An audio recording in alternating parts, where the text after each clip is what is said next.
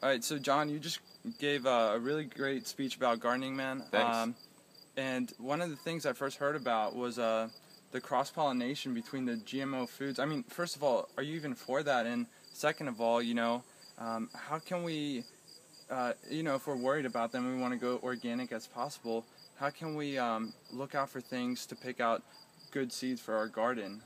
So can you talk about that a little bit? Yeah, sure. So, uh, number one, I will go on the record that I'm fully against GMO crops, all GMO crops. Now, I want to define GMO crops for a second because, you know, many people may not exactly know what it is and how could John say GMOs are bad? Because it's just hybridization has been happening for years and all this stuff.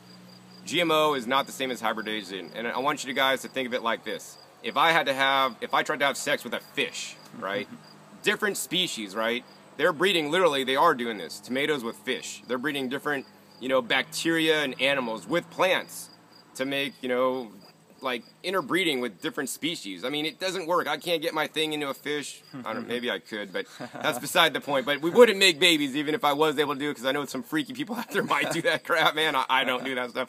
But nonetheless, that's that's what GMOs are. It's it's breeding two totally different species. Like if I had made love to a you know an African woman or a Spanish woman or a Asian woman, yeah, we're we're different, and we'd be crossbreeding, we'd be hybridizing because it's not a person of my genetic ethnicity.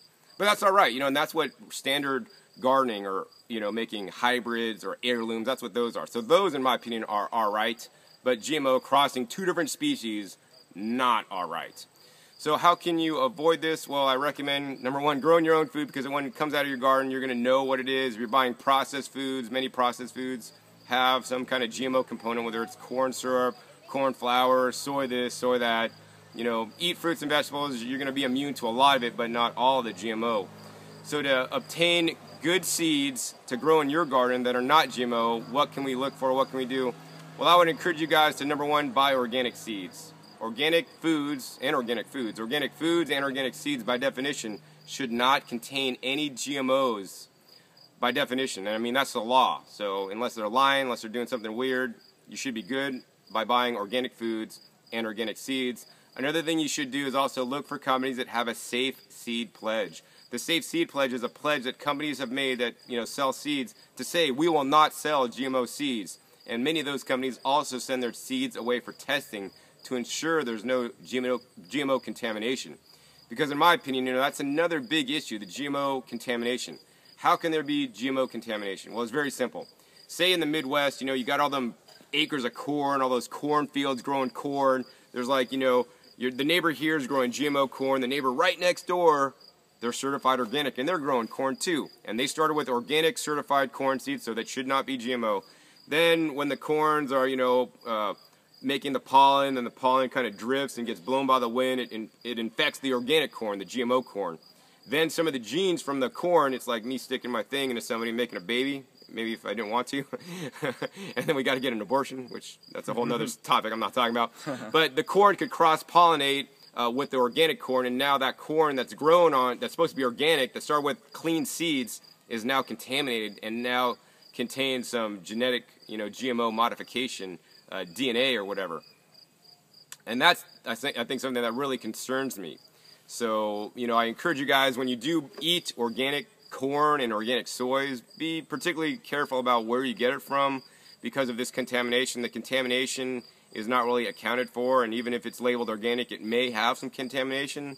So I mean, I want to be aware of that, but also be conscious about it. So for me, in general, if it's like some big company selling corn at Whole Foods and it says organic, I don't know where that corn came from. I'm probably not going to buy it. If I go to a local farmer's market and I ask the farmer, hey, are anybody growing GMO corn near you? You know, is your acreage far from anybody? All this kind of stuff. And he says, you know, yes, then I'll probably buy his corn, but I'm not going to buy just organic corn at the supermarket because I'm concerned. More importantly, if I'm going to be growing corn, I'm only going to buy organic corn or corn that has been tested GMO contamination free. It's very important, especially with the corn and the soy. Those are the two main crops. I mean, even even also they're you know GMOing zucchinis and different things nowadays. Papaya is another big one. I mean, there's so many different crops are GMOing these days. Beets, another huge one. You know, and all these have the possibility of cross pollination and cross contamination. So we really got to pay some attention on many crops. Although many other crops are not yet being GMO'd, so there's no danger. But you know, I encourage you guys to look up the crops that are being GMO'd at this time and, you know, be concerned about whether you're eating those crops or actually even going to be growing them and make sure you get good seed uh, starts. And once you have seed once, then what I encourage you guys to do is to grow the plants out that you know are clean, grow them, make sure there's no contamination around your area and no people growing GMO stuff, and then save your seeds and keep growing them and, buy, and give those seeds that are GMO free to your friends, neighbors, and family and all this kind of stuff so that they could grow GMO free too so we could keep some genetic diversity alive.